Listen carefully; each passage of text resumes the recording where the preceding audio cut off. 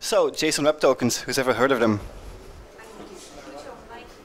Closer to my mouth. So, who's ever heard of JSON Web Tokens? Go grab a beer. Okay, um, let me quickly introduce myself. My name is Sam. I'm a developer evangelist at Auth0. If you have any questions about Auth0, come talk to me afterwards. Um, I'm on GDE and I organize meetups in Belgium called Frontiers. And you can find me on the internet as Sam Bellen.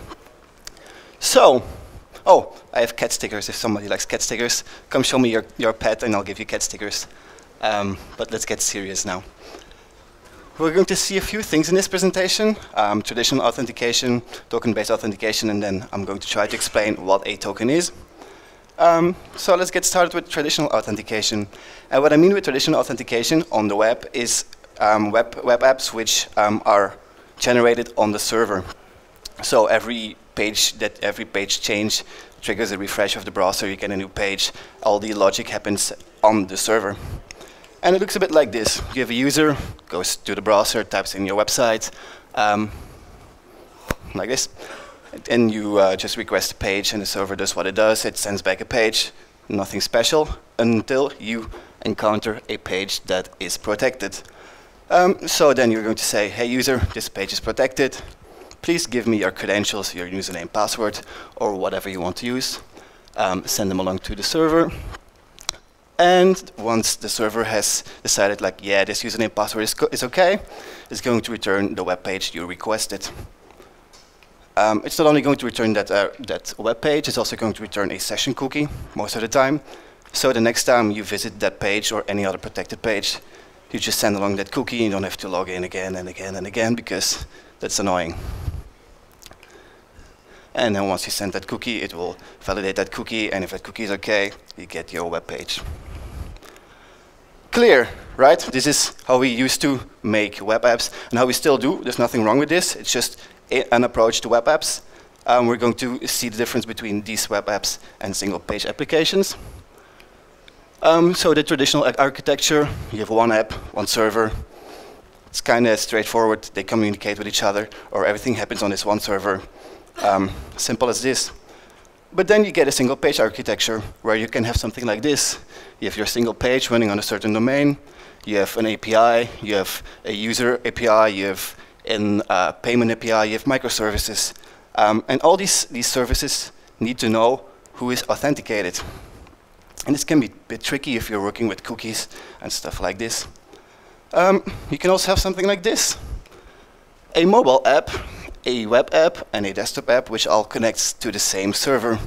Now, I don't know if you know, but mobile apps and desktop apps, they don't really use cookies. That's something we on the web use, but those platforms don't really use cookies.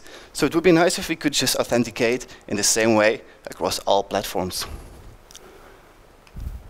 Um, so what are the, some of the problems with traditional cookie-based approach? Cookies don't like CORS. Who likes CORS? One, one person? You're a brave person. I don't like it either. It's really just, it's annoying. And cookies don't really like it. You cannot really, you can, but it's really annoying to use cookies with um, cross origins. Cookies require states because you send a session in that cookie, which you have to keep somewhere on a server, like a list of all the valid sessions, and you have to validate against those that list every time um, the browser sends that cookie to you. Um, and cookies on flow. You can have a cookie issued by a certain service, server, but it doesn't necessarily mean that um, it works with all the servers in your backend. So cookies don't flow from one server to another. For example, like this, the cookie could be issued by API, by the first API, the first service, but it doesn't mean that uh, the second service knows what to do or can access that cookie in general. Um, so, what's the solution? Token-based authentication. Um, so we have this user who's going to access a web page, um, a single page application in this in this case, so it doesn't really matter. Um, same same story. The page is protected, so we send our credentials. And once the credentials are okay, the server is going to send a token. This can be much more complicated. It's just a simplified version of how token-based authentication works. Um, so if your credentials match, um, you're going to get an access token and you're going to keep this in your browser, and every time that you want to access a protected resource, a server, a, an API or something like this, you're going to send along this access token. And once this checks out, it's a valid access token, you get your data from your API and your single page gets rendered in your browser. So, to sum up, the user fills, fills in the login form, we pass along the data. Once the data is okay, we return an access token, and then we pass along this access token every time we want to access a protected resource. So let's see it in action. We have, I have this little local API here, which is um, protected. So if I try to access it, it says no authorization token was found. Um, so let's give it one. Is this big enough for the people in the back? No? Let's see if I can uh, enlarge it. Yeah, it's going to be like this then. Um, so once we send along a an access token as a bearer token, we get a cat image. Um, but not only this, this token has some meaning. It's not just a random um, piece of text if I copy, for example, an expired web, web token, our API will know that this token is not valid anymore and will tell us this token is expired. So a token does not necessarily have to be just a random piece of string text. It can have some meaning. Um, like for example, this one was expired. If you want to do it in JavaScript, I don't know if there's that many JavaScript developers in this conference. Um, you can do it something like this, where the important part is that in your header you send a bearer token with a token. Who's ever heard of OAuth? Of course you do. Stupid question. Who's ever heard of OpenID Connect? Of course you do. Stupid question. Um, and that can look something like this. You have a user, you have your single page application in this case, and it's going to try to authenticate with an external um, or an internal, a separate uh, microservice for authentication. It's going to send your credentials, and it's going to get back the access token. We've seen this before. But it's not only going to get back your access token, it's going to get back a refresh token and an ID token, um, because your access token is going to be valid for a very short period of time. If you want to renew it, you use your refresh token. And your ID token is just going to contain a bit more of information about the authenticated user. So then you have your access token. Um, you pass it along to your API. You get some stuff back. We've seen this before. But will your user have to log in every time that you visit that he visits the website? Because we haven't seen save these tokens. They were sent to the browser. But what then? Who saved these tokens in local storage, a cookie or something like this? One person, two person. I think almost everybody has done this at a certain point or still does this. Um, but they can be susceptible to cross-site scripting. So there's another solution like this. The login flow stays, stays the same. Um, we get our cookies, uh, we get our tokens back, but we also get a cookie back, a cookie from our authentication server, um, which we keep in our browser. And the next time you visit this website, we're not going to, uh, we're going to do a silent request to our authentication server. This is usually done in an iframe. So in the background, our single page application is going to request all the tokens and save them in memory. This means with every visit, we're going to have to request the tokens, but we don't save them somewhere persistently, like in local storage, which makes them a little less susceptible to cross-site scripting. So you send the cookie, you get your tokens, and then you can use them to get your data.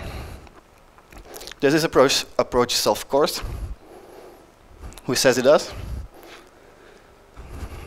I, I, say it does, because tokens, you can pass along tokens to any server you have as long as they have the ability to validate those tokens.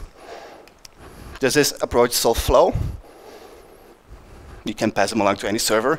Doesn't have to be the same domain, with, like with CORS, it doesn't have to be the same domain. It can, but it also you can pass them along from server to another as long as each server knows how to validate those tokens. And this is approach keep solve keeps keeping state. It kind of does. If you would save your tokens in your browser, it would. Um, but since we're going to request them every time we visit your single page application, you kind of need some state, but two out of three, it's not that bad. But I've been talking about tokens, but what is a token? Um, I should have started with this, um, but it's quite a big piece of this presentation. So what is a token? I'm going to talk about JSON Web Tokens. A token in general can be anything. It can be an opaque string with some random characters. It can be a piece of XML like a SAML token. I'm going to talk about JSON Web Tokens. And it looks a bit like this. It's important to notice that there's three parts in a JSON Web Token. The header, the payload, and the signature, which are um, in different colors, and they're divided by a dot. So a JSON Web Tokens might have three different parts the header. And this is actually just a base64 string of a JSON object. In this case, it tells us which algorithm was used to sign the token and uh, which type of token it is, a JSON web token. The second part, the payload, is just a base64 um, of a JSON object, again, and it can have anything that's valid JSON inside of it.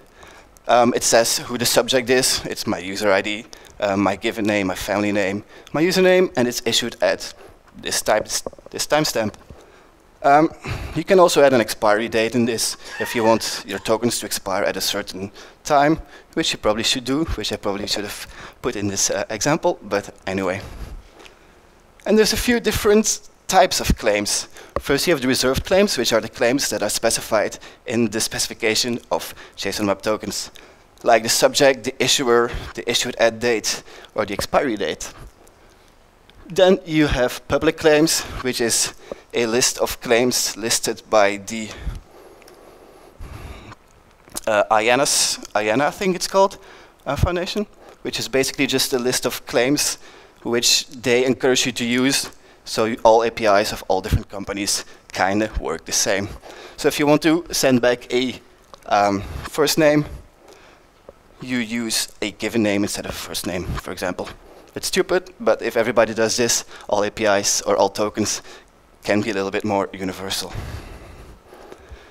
And then lastly, you have private claims, and this can just be any valid JSON you want.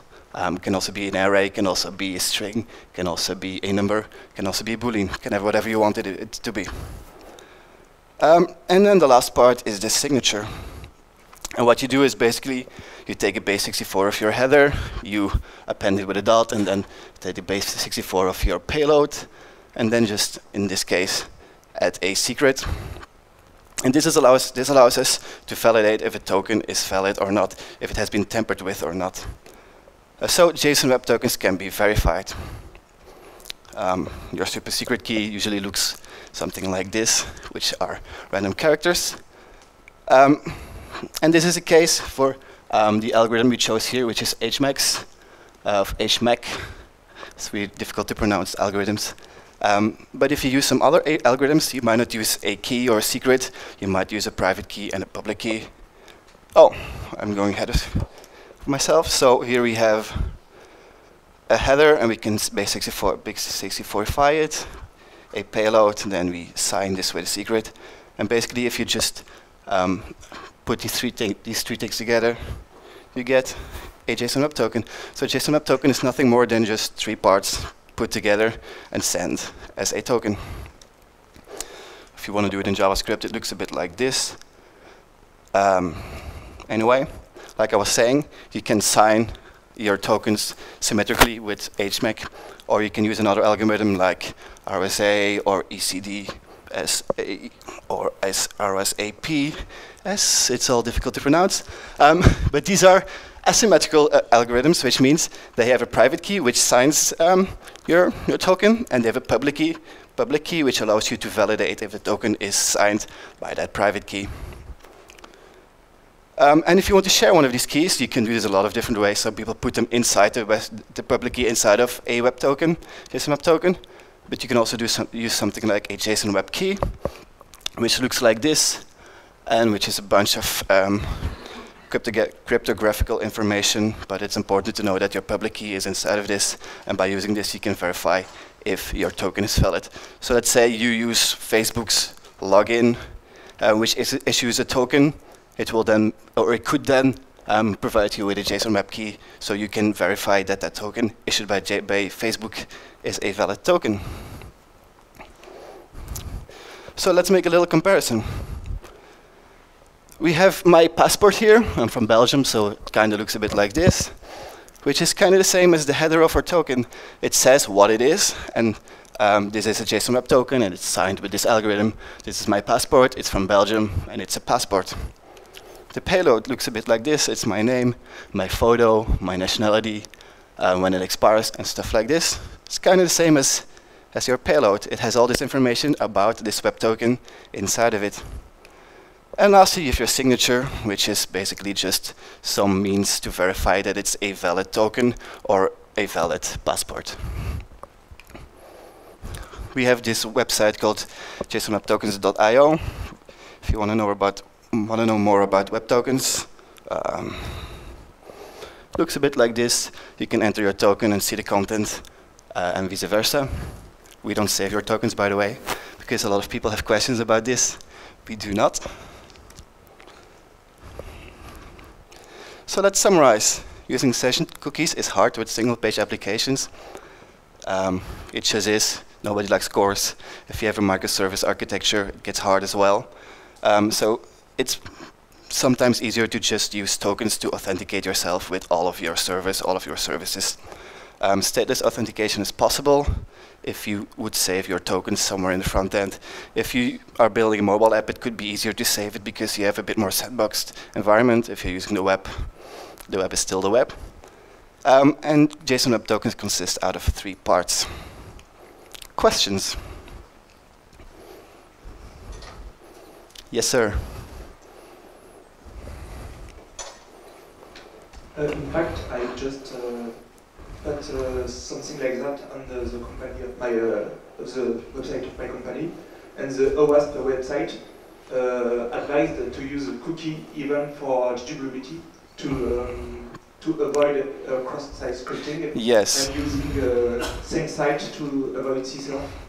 Yeah, that's like I said with the silent request, you're not going to save your tokens, you're just going to save a session cookie, which you will send in the background every time you visit the website, which is going to get the tokens so you can then use them once you've got them again.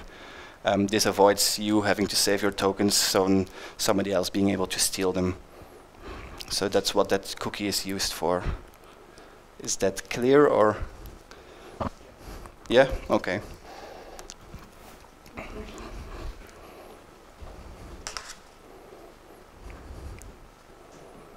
So basically, as I understand, there's no way to invalidate the JSON web token. Uh, so is there a good uh, practice to somehow? This is um, usually done by something like a blacklist, like if you have tokens, because JSON Web Tokens usually contain their own data, if they're valid or not, their expiry date, their issuer, uh, their signature. Um, so if, for example, you issue a JSON Web token, which is valid until tomorrow, but tonight you decide it's not valid for some reason, you can add it to a blacklist, and then you can just still check um, for tokens in that blacklist before you really decide that it's a valid um, JSON Web token. So that's one of the ways that it's usually done by using a blacklist. More questions? All right. Oh. A lot of questions now. I have a very basic question. Mm -hmm. In traditional cookie-based authentication, uh, you get the benefit of the session handling in, in web container, at least J2E containers. Is there anything similar for uh, JSON? I think every language or any framework you want to use has some library to work with JSON Web Tokens. In fact, if you go to this website, it has a whole list here for any language and framework of libraries which help you use um, JSON Web Tokens and which are usually just simple middlewares, middlewares which handle JSON Web Tokens. So yeah, it should be quite easy to do in any um, environment. Hi, thanks for the talk. Uh, for asymmetric signing, there's a lot of algorithms. Some are broken, like vulnerable. Mm -hmm. Some are very long, so they produce long token. Can you advise us on a nice algorithm to use today that is also implemented in uh, libraries? Like um, the same goes for the libraries. Um, on this website, you can see this. For example, this C library has all these algorithms which it supports. So it depends on the library um, which algorithms it supports. Um, JSON Web Tokens usually support these algorithms. It's useful, this website, I should always put it open, which are um, the most commonly used um, algorithms with JSON Web Tokens, um, and almost all of them are asymmetrically, except HMACs. Does that answer your question, more or less? Okay. Questions again? Hi, thank you for your presentation. Uh, you mentioned the black is to uh, reduce the risk of, uh, well, to revoke tokens. Mm-hmm. Uh, but for me, the purpose of JWT is to avoid the state and checking every time you receive a request. Yes. So if you have a blacklist, you need to maintain a state somehow. Yes, and that's Uh, why that's why I had an asterisk behind um, does this solve state because in theory it does solve state because a JSON Web Token can prove its authenticity and it's it's valid valid if it's valid or not. But then you have edge cases like if you want to revoke um, tokens before their expiry date has been met, for example, and then you have to find a way around it, which is a blacklist. So in most cases it can solve state or keeping state, but sometimes you just need to have state. And unfortunately, there's no really other way to revoke access or to revoke tokens at this time. Not that I'm aware of, at least. Okay, thank you. Question, yeah.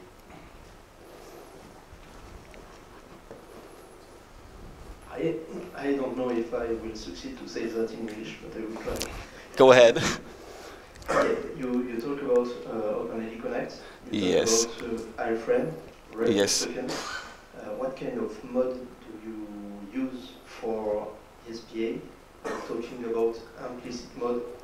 In implicit mode, I think you Um, not have refresh token. I think, yeah. I think for an SPA, you usually use implicit um, flow Okay. in um, auth and therefore also in OpenID Connect. Um, so you just ask an access token and a refresh token and you use them. You don't need an access or an authorization code first. You usually just talk to your, uh, your API um, without having an authorization code first. So the implicit flow, I would say. Okay.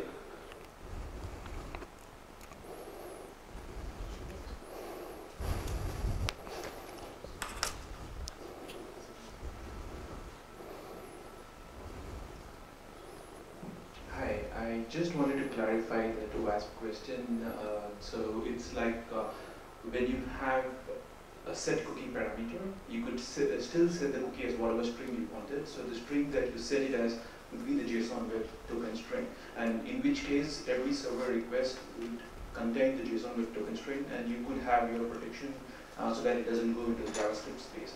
Uh, what can be done for the revocation in that case is that when you get this kind of invalid tokens, you can revoke it at the time from the server because yeah, you have a set cookie parameter from where you can revoke it. Of course, the state will be maintained by the client and not by the server.